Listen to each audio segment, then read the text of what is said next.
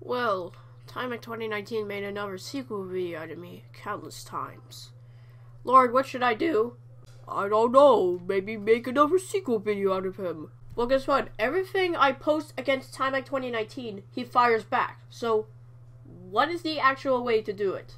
I don't know. Maybe probably I'll report him. Well, guess what? I reported him and it doesn't even work. So, what should I do? Make a sequel video out of him again, please. Are you sure? Well, I used DuckDuck's video and other videos, which is 10 ways to get banned on Roblox 2.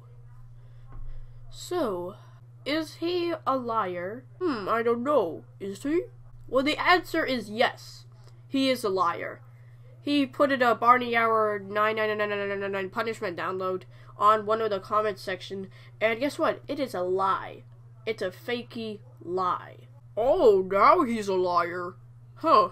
I guess Halloween might be crazy for him. Yeah, but what about if I give him a Quake Live so he can have a 1v1 tournament of me?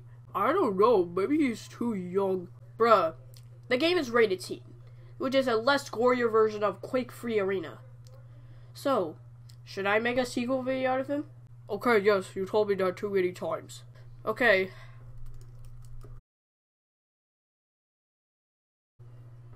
Alright, let's see what he does. Oh my god, was Kiko, how dare you make a video out of me that's it, you're grounded for life. What? Another sequel video?